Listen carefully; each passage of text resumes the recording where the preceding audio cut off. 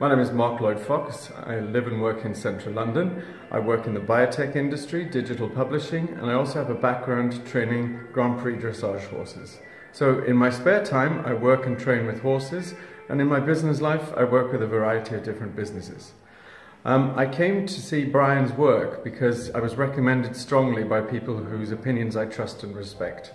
I read his book, I looked at the DVDs, and I've been to attend the workshop now. And as someone who has shopped around and looked at many areas of personal development, I have to say this is probably the best one stop shop that fully contains everything I could possibly need.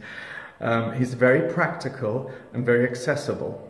And the tools I've been given today at the end of this workshop, I'm going to take away with me and apply from tomorrow morning. And I'm looking forward to the success I'm going to get from it.